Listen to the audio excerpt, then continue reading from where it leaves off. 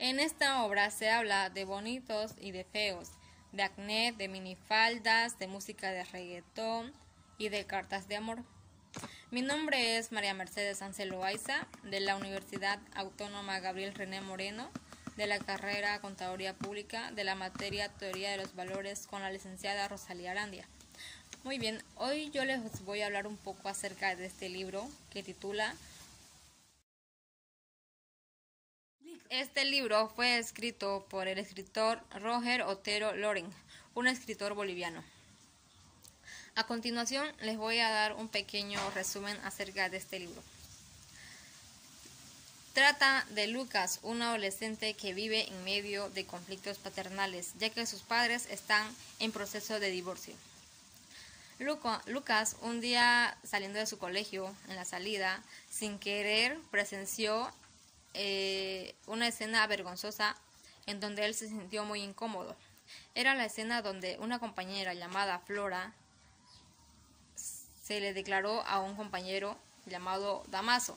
Damaso era el chico popular y Flora era una chica obesa, la cual fue rechazada al momento. Y aparte de ser rechazada, también le hicieron bullying eh, Damaso y sus amigos.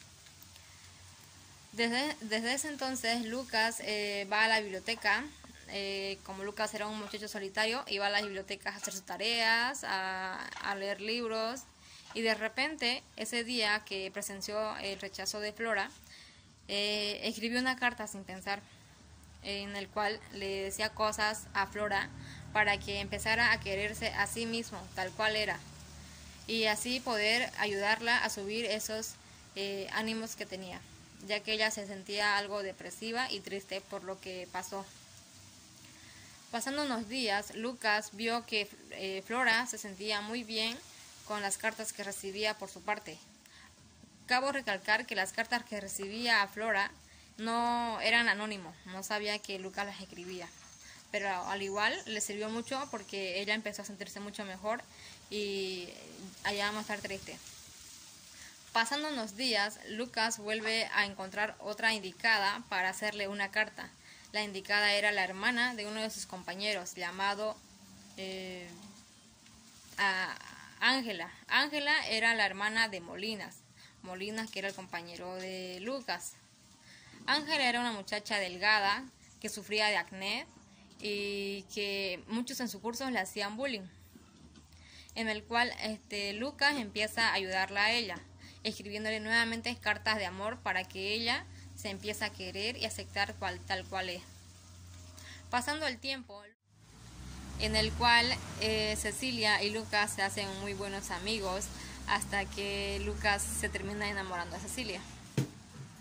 Con el pasar del año, eh, Lucas quería eh, decirle a su padre que le gustaba una chica es más, le dijo a su padre que le gustaba una chica, simplemente que lo primero que su padre preguntó fue si era bonita. Lucas agacha la mirada tristemente y le pregunta que para él qué significa ser bonita. Como pasando unos segundos y unos momentos su padre no supo qué decir, así que le cambió el tema y le preguntó que cómo iba al colegio, que si estaba bien, que sus notas, y todo eso. En sí, Lucas y su padre no tenían buena relación debido a lo que su madre eh, sufría mucho por culpa de su padre, ya que su padre la dejó simplemente porque ella no se arreglaba, no se maquillaba y pues por eso, por eso simplemente la dejó y la está dejando. En el cual Lucas le pregunta a su padre que por qué o para qué o qué significa para él ser bonita o que alguien sea bonito. Su padre no pudo decirle nada, se le cayó la cara de vergüenza, así que simplemente le cambió de tema. Como al pasar el tiempo, eh, Lucas eh, quiso decirle a Cecilia que se enamoró de ella, pero al parecer eh, Cecilia no, de él. Aunque él sospechaba de que sí, pero Cecilia nunca le dio este, nunca le dio o le demostró algún interés aparte de ser amigos o cosas así. Eh, es ahí donde Lucas empieza a decir que, que hasta él fue el feo de alguien, ya que recibió una carta donde le confesaban su amor hacia él, simplemente que también era anónima. él pensaba que era eh, Diana, una, una, compañera que él conoció en la biblioteca, pero no, no era Diana. Eh, luego en esa carta se dio a entender que la chica que estaba enamorada de él era Cecilia, pero tampoco eh, tampoco podía, podrían, podría saber si era Cecilia o no, ya que en esa carta simplemente decía que había una persona que estaba enamorada de él y que siempre lo iba a estar y que siempre lo iba a querer, solo que eh, va a ser a la distancia y que nunca va a saber quién es esa persona.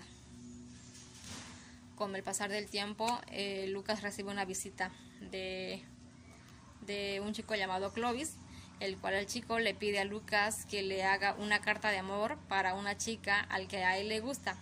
Lo primero que Lucas hace y le, es preguntarle si por qué quiere que le haga esa carta de amor a esa chica. Él agarra y saca una foto de su cartera, de su billetera y le muestra. La chica es bonita, ojos azules, pelos grises, eh, tenía un cuerpo muy bonito. Entonces Lois le dice a Lucas que por lo que es muy bonita. Lucas agarra y le dice que para él qué significaba ser bonita. Es ahí donde le dice, ¿qué pasa si la chica fuera gordita, si fuera, no sé, tuviera acné o cosas así? Y Lucas y Clovis le, le dice que entonces no le gustaría a él. Lucas agarra y le dice que no, que no le va a ayudar a hacer la carta que él quiere.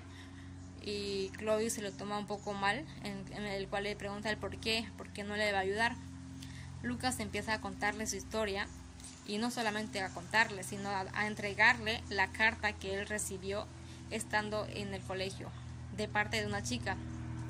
Aunque Clovis eh, se asombra por lo que le pasó a Lucas, y también quiere ayudarle a averiguar quién es la persona que escribió la carta. Pero Lucas le dice que mejor no, que la deja así las cosas, que nunca va a conocer a la persona que escribió esa carta para él. Y es ahí donde termina eh, la historia. La mente es como un paracaídas, si no se abre, de nada sirve. Muchas gracias por haber abierto sus mentes y haberme escuchado.